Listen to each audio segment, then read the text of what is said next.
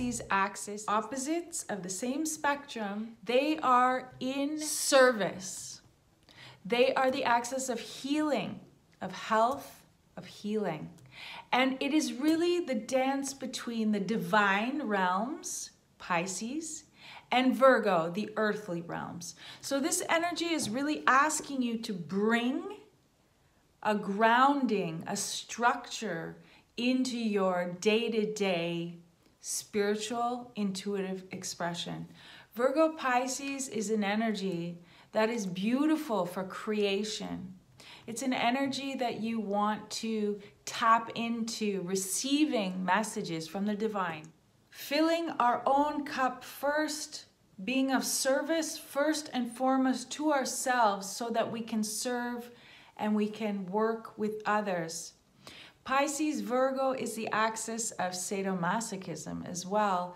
Although it is of service, it's the healer, it can also overgive and completely lose itself in service. It is a challenge asking us to make sure we take care of our health, our well being, and our very specific needs first before we can serve the other. Pisces Virgo also can be associated with escapism, and we can be escaping pain. Pisces is the sign associated with the age of deep suffering and really losing ourselves in the escaping of our deep feelings and our deep emotions. We can almost disassociate sometimes because it's too hard to confront our suffering. So we really want to acknowledge our suffering. We want to acknowledge what we have gone through without overly attaching to it. Pisces can also victimize itself. So we want to be taking responsibility for our health and well-being. We want to be looking at where are we addicted to another? Where are we addicted to codependent relationships? Where are we addicted to something that takes us away from our feelings? We're being asked to feel. We have a very strong energy in Pisces. Saturn is in Pisces, which is the planet of limitation, rules, karma. It it really limits us. It makes things heavy. So this could be an energy of feeling down, depressed. Remember, it's very emotional. We could be feeling an overall seriousness because this is not a time to avoid our suffering and our problems. This is a time to clean up our mess clean up ourselves. This is about organization, purifying, and devoting ourselves to our healing journey. Please let us take some time to honor and respect the healing we have done until now, especially over the last six months. And what do we need to focus on now to really make things happen in the real world? We want to bring that divine commitment to earth. Can we commit to our spirituality? Can we commit to our creative process? Can we commit to our health and healing? Can we commit to our spiritual awakening journey? This is about making it tangible, real in the physical world. Boundaries. What can you allow and what can you not? We need to look at our expectations.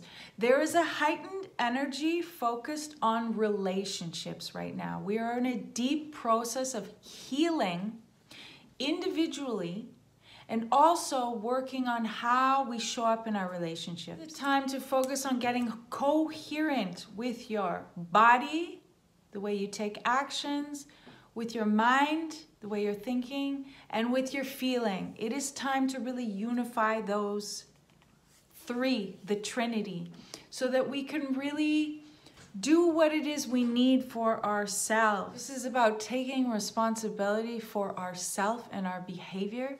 This is not about blaming or expecting validation or others to give us what we need to do for ourselves. This is hard. This is a hard lesson. So be gentle on yourself because this is sometimes Virgo and Pisces care too much about the other, that there can be a guilt. So we need to let go of this feeling of needing to be better. Virgo can be very hypercritical, self judgmental, more on itself than anyone else. So it's really about not getting into that masochistic, beating yourself up. You are in a process of unraveling, of becoming. So it is really important for you to be gentle and loving and caring with yourself. We are moving towards a world where we will not be led by a guru or a power telling us what to do. We will be following our inner intuition, our inner knowingness, and we will be learning to work unity through diversity. But this is a massive process. As the old system is crumbling, those in power, abusing their power control will be more and more revealed. The people will less and less support this abuse of power, this patriarchal system based on only money, power, gain. We will no longer accept this in the new world.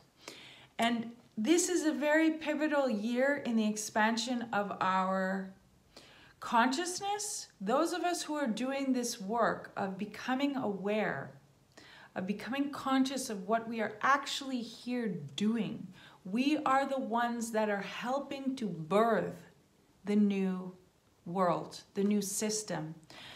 The old system will take some time to crumble, so it's not very clear cut. But if you're listening to this, you are part of that birthing movement of the people taking back their power. This is a very emotionally charged time, okay? There is a lot of tension and emotion. Energetic hygiene is key. Do your grounding work, get your feet on the earth. This is about taking care of yourself, okay? This is an opportunity for deep healing so if you do any somatic work, in conclusion, this is a beautiful time to commit to your health and your healing, to commit to working with your body. This is a perfect time to change your diet, to get your exercise routine on check. Virgo wants to clean it up. Although it may be emotional and it may be hard, we can also work with this Piscean flowing energy that's asking us to connect and ground. Okay? This is a huge energy we need to look at, which is bringing the divine to earth and not being stuck in a cloud of escapism, avoidance, and disassociation, but really being here feeling our feelings. It's about allowing yourself to feel your feelings. And again, what I can always suggest for working with energy and feelings is making art, creating something, working with your body physically, going hiking, yoga, whatever it is that connects you and allows you to express the energy so you don't have to feel like it's stuck within you. I have very strong Pisces Virgo in my chart. My south node is Pisces, my north node is Virgo. I have Saturn in Virgo, so I have a lot of Virgo opposing Pisces. And my challenge in this life has really been to bring my magic to earth. It's been really hard for me to ground in reality and take action and build my physical business and my reality because I'm full of ideas and flowing and talent and creativity and I just want to float above the clouds. However, it's not possible in this lifetime, but I do have a gift of creativity, of spiritual connection. I am a divine translator. I do bring magic to earth. So, if you want some support, I do private consultations where I can look at your astrology, your human design, your gene keys, whatever energetic system, along with channeling, whatever your issue, concern, question is, I can deep dive into your energetics and bring you some practical solutions and information that can help you really align cosmically with your mission, your goal, your purpose. I am a 3-5 mental projector. I am one of the rare 3% of the world mental projectors. I am really here to guide by using my fabulous mind to penetrate deep into the patterns and see what is out of alignment, to feel what needs to be course corrected. So please send me a private message if you want more info about a private reading. Beijinhos. Don't forget subscribe like and share. Beijing.